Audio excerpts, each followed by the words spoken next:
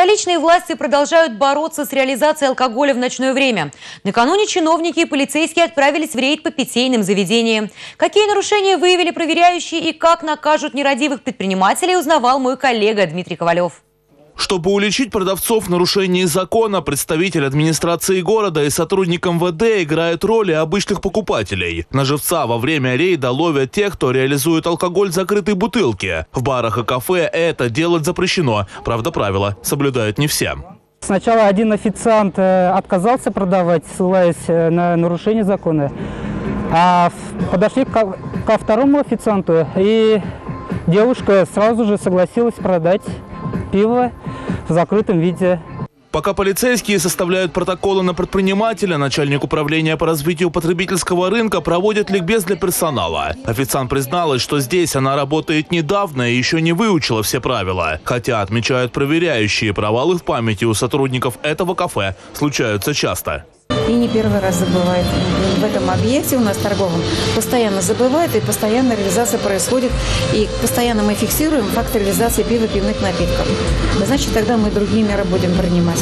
Неоднократно карали штрафами и руководители кафе «Удача», но похоже, что предприниматели эти уроки ничему не научили. Во время очередной контрольной закупки проверяющим продали закрытую бутылку пива. Список нарушений на этом не закончился, даже беглый осмотр торгового зала показал, что кафе своему статусу не отвечает. Здесь для кафе нет два выхода по правилам, которые должны быть существовать в предприятиях общественного питания. Две туалетные комнаты для персонала, а также для потребителей. Здесь э, нет фойе, здесь нет раздевалки для потребителей. Даже минимум, если устанавливается для мини-кафе, стойки для верхней одежды.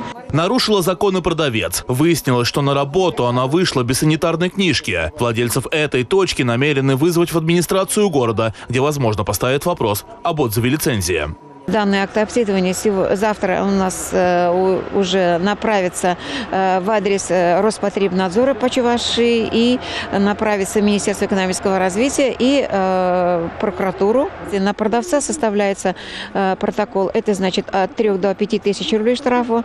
А если мы на индивидуального предпринимателя будем составлять, в том случае она будет уже до 30 тысяч рублей, а если уже на ООО, уже до 100 тысяч рублей.